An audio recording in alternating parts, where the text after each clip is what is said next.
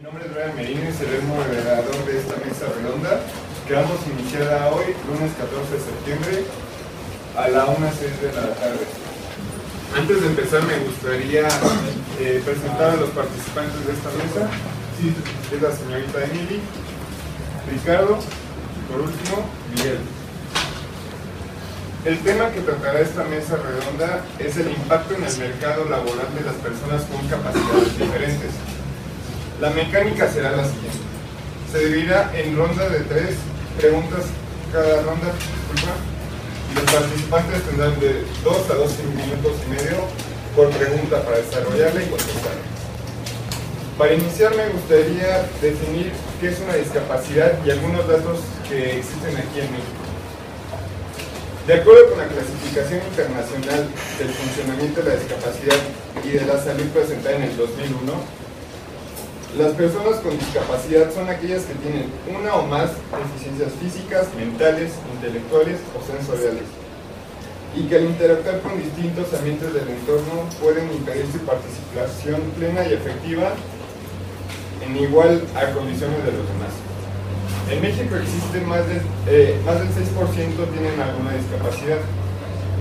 Y los tipos de discapacidades más comunes son el no poder moverse, el, ver, este, discapacidades mentales, auditivas, entre otras.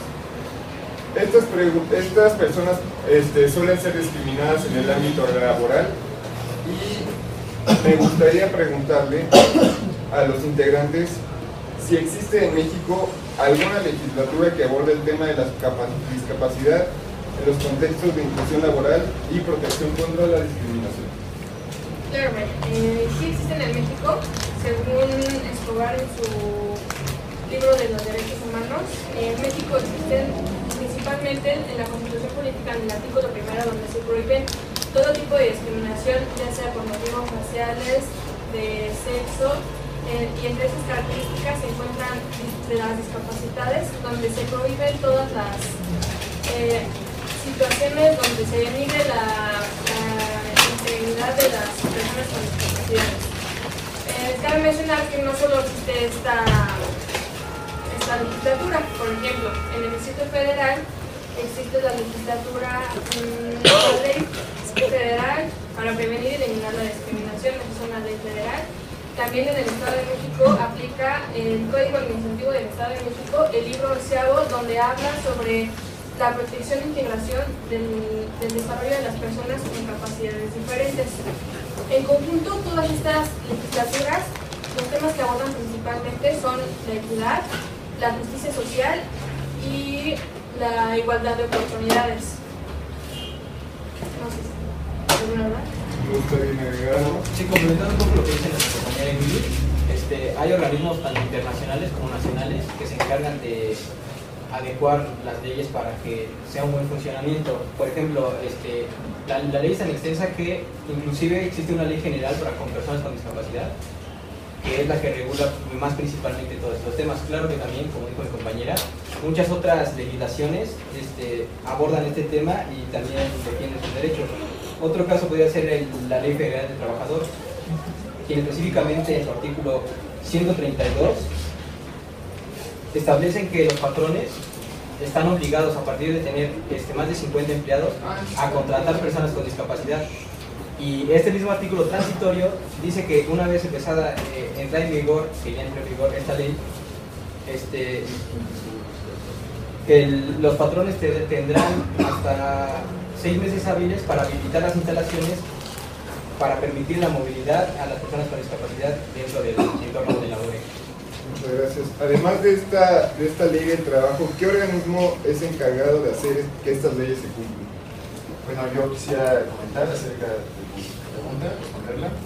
Existe la Organización Internacional del Trabajo, con sede en Ginebra, fue fundada el, 4 de, el 11 de abril de 1919 por el Tratado de Versalles. Este, ese como antecedente. Tiene un, un, organismo supremo que es la Conferencia Internacional del Trabajo. Este también. Este, eh, la función principal de la Organización Internacional del Trabajo es traer, la, la, inclusión de, trabajadores discapacitados. Eh, y no solo discapacitados, la, de trabajo en general, así como un trabajo productivo, eficiente, que se respeten los derechos y las obligaciones también de los trabajadores. Esto es un poco más general, pero mis compañeros hablaron acerca de México en específico.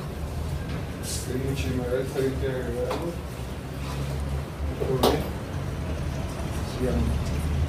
Como bien se sabe, no todas las empresas suelen apoyar a personas con discapacidades. Entonces, hablando de empresas ilimitantes, ¿qué empresas apoyan y promueven la inclusión laboral de las personas con discapacidad? Como ya mencionó Ricardo, la ORI trata de hacer una inclusión laboral a las personas con capacidades diferentes. Ustedes tal vez hayan visto a, en, alguna, en algún centro comercial personas que los atienden que, no sé, a lo mejor están en sillas de ruedas o alguna, que tienen alguna discapacidad motora. Pero esto es un poco no muy común, ya que realmente en México solo el 5% de las empresas eh, contratan a personas con capacidades diferentes según la Fundación Universia.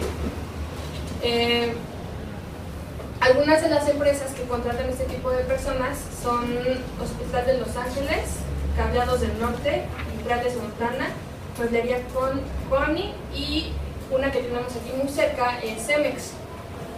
Eh, estas últimas empresas que les mencioné, en el pasado, el pasado mes de junio recibieron un reconocimiento por su labor en la inclusión social de las personas con capacidades diferentes.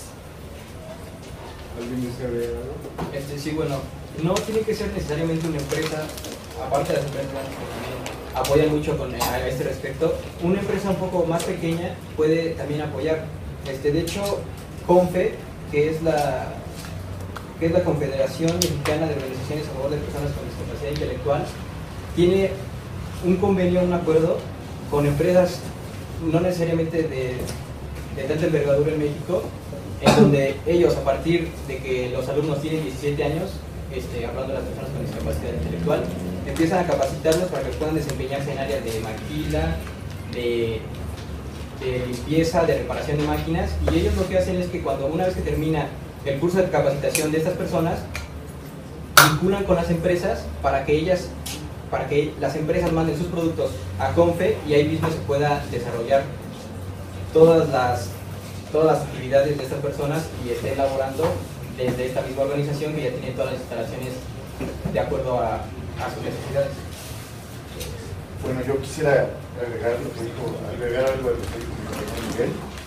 Este, como lo dicta el portal del empleo de, de gobierno de, del gobierno de México, este, dice que es muy necesario la capacitación para los empleados con capacidades diferentes, ya sea por eh, métodos de aprendizajes especiales, porque no todos tienen la facilidad de entrar a una escuela para discapacitados débiles o débiles mentales.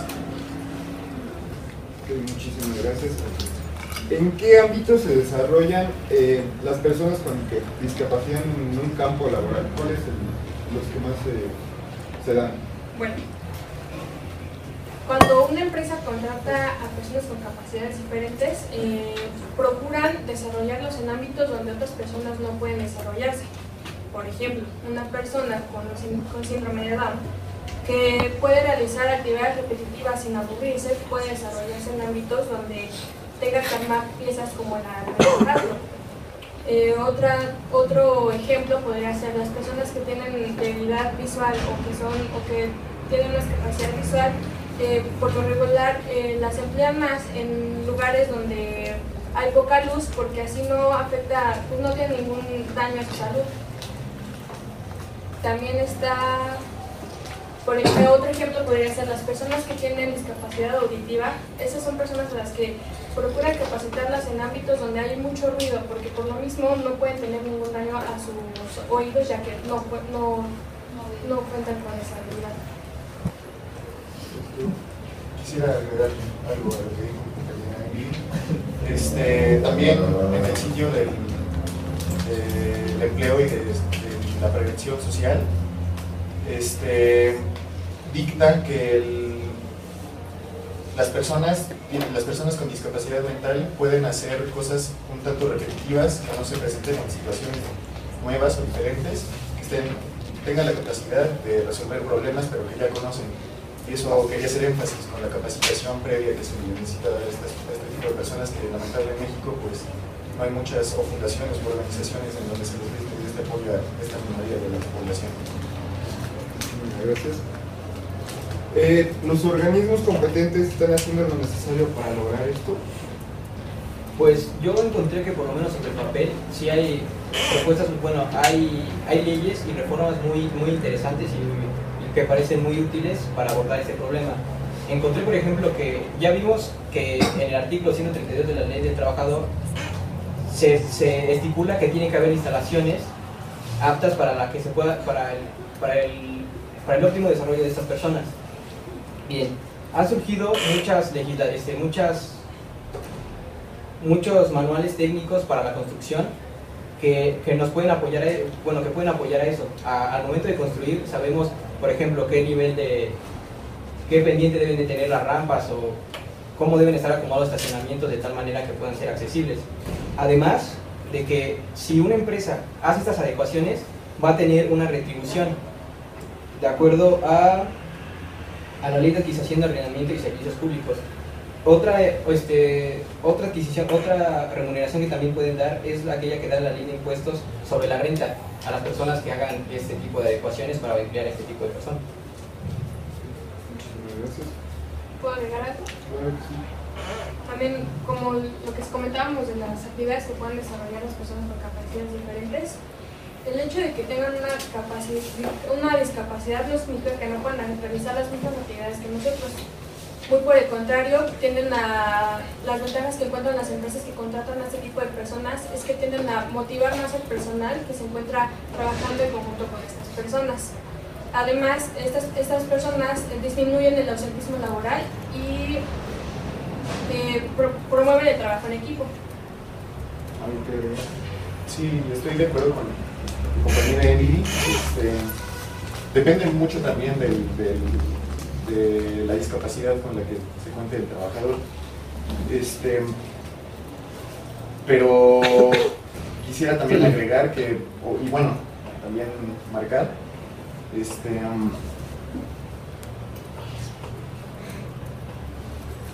Muy bien, sigamos con la próxima pregunta.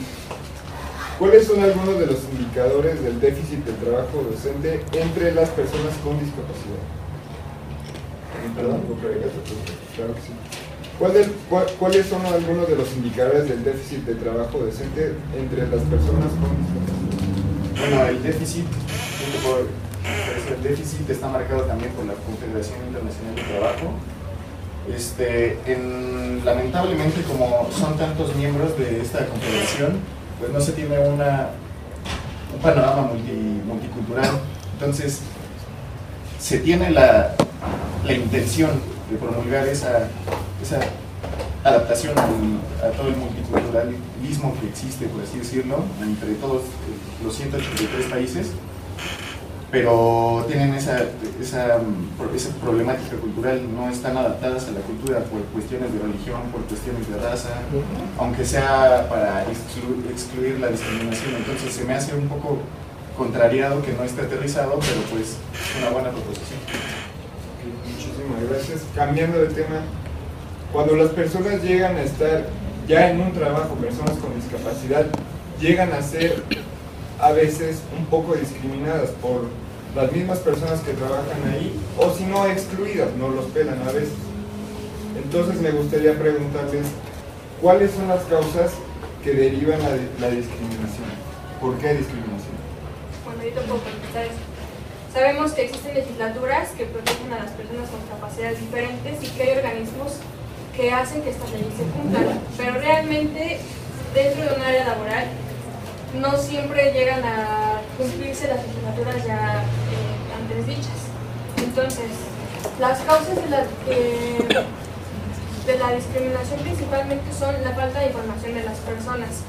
Muchas personas creen que por el hecho de tener una discapacidad, probablemente esa persona necesite necesidades especiales, ¿no? O le puede pasar algo que no sea de, de cubrir nuestra alcance, ¿no? Entonces, estas personas principalmente lo que tienen es miedo. Miedo de, esta, de las personas con capacidades diferentes. Y es algo que trata de, de cambiar la, la OIT con, con sus propuestas sobre la inclusión laboral. Y porque realmente no es simplemente falta de información de las personas que trabajan con estas con personas con capacidades diferentes. ¿Algo que agregar? Bueno, me parece que sí, como dijo mi compañera, se tienen que cambiar los mecanismos, pero algo muy importante a resaltar es que todos este, tenemos que tener el compromiso moral y, y, también abrirnos un poco, porque normalmente cuando vemos a una persona discapacitada, tal vez no la discriminamos, pero pensamos en ellas como personas diferentes y realmente, si nos detuviéramos a pensar, son, puede, son capaces de, de, sentir igual que nosotros, de pensar igual que nosotros, solo que tienen una condición que nos hace parecer diferentes. Pero es lo que me gustaría decir, es más bien, más allá de todas las definiciones que pueden hacerse, eh, queda más en un compromiso moral por parte de, de todos los que podamos laborar con ellos. Sí, de hecho se tiende a decir que estas personas eh, no son inteligentes, eh, no son capaces e incluso son agresivas, lo cual es una completa mentira. Ok, es pertinente que las personas que no tienen discapacidad trabajen con ellas, se necesita darles un curso o algo así para trabajar con personas con alguna discapacidad no? No, realmente, como te comentaba, eh, es, hasta beneficioso para las empresas porque ya te había dicho ¿no? que aumentan la productividad, ya que por ser personas que las otras personas creen que no son capaces, ellos, esas personas dicen, no, yo sí puedo y te lo voy a demostrar, ¿no? Entonces, aumentan la productividad, eh, promueven el trabajo en equipo, disminuyen el, el laboral y además cambia mucho el ambiente laboral en el que, en el que se desempeñan ese tipo de personas. Tú puedes notar que, según, como ya te había mencionado, la Fundación Universia, eh, las personas que se, desenvuelven con personas con capacidades diferentes tienden a ser más amables, a, ser más sensibles y a ser más, em, a considerar más a las demás personas. De hecho, es una técnica de, aprendizaje para el conocimiento general. Es una técnica de aprendizaje. Es beneficioso tanto a las personas que, son, se, que se desenvuelven en la empresa como a las personas discapacitadas de la empresa. Este, se pone en una situación, en este caso al, discapacitado, por así decirlo, este, para que se presente en una situación donde por, por obvias razones no, podrías, no podría confrontar, no, no tendría interacción, entonces es beneficioso para la gente discapacitada como decía mi compañera Emily, para la productividad misma de la empresa. Sí, y además es importante que las personas con capacidades diferentes se desarrollen en un ambiente laboral porque así pueden desarrollar su autonomía y su independencia. ¿Es posible que estas personas desempeñen el trabajo que ellas quieran o tienen que ser algo específico? Bueno, sí, depende mucho también, como comentaban ya, este, del tipo de discapacidad que tengan. Por ejemplo, la Secretaría de Empleo tiene una serie de recomendaciones para personas con discapacidad. Este, hay varias, pero este, lo que recomienda es principalmente lo mismo en todas ellas. Hacerse de un negocio propio, ya sea, no sé, algún lugar para comer, este, algún lugar donde se vendan bienes o tener un, un, despacho de consultoría de acuerdo a alguna profesión dentro de su mismo hogar para que, para que puedan desarrollarse cómodamente. Pero depende mucho, ¿no? De sí, sí, depende mucho. Sí, porque por ejemplo, ya como les comentaban los ejemplos de, de en qué áreas específicas se pueden desarrollar esas personas. Sí, inclusive, si digamos, por decirlo de alguna manera, es menor el, tipo de discapacidad que tiene, inclusive podría llegar a ser un profesionista que pueda hacer consultorías, llámese un arquitecto, un abogado, un mercadólogo. ¿Qué tipo de discriminación existen en ese ámbito laboral? Pues existen varios. Es muy eh, específico eso, pero por simple discriminación de raza, de sexo, puede caer en eso. Em, los está, la OI está obligada a decirle a las empresas y a los jefes sobre todo, que es los que manejan con todo este tipo de, problemas, de problemática, manejan a la gente. Entonces, aunque seas una persona discapacitada o seas una persona que tiene todas sus facultades, debes ser eh, notificada si eh, tu desempeño es bueno, eh, debes de reportar cualquier tipo de negligencia, de una buena remuneración en caso de algún accidente, sea discapacitado o no. Este, también la injusticia de saber cuáles son sus habilidades o darle, o darle preferencia a, alguna persona por sus habilidades. ¿Algo más que agregar? Bueno, estas fueron la serie de preguntas. Me gustaría concluir este, con, con un, este, un pequeño párrafo y además daremos este, unos tres minutos para preguntas si tiene alguien de ustedes.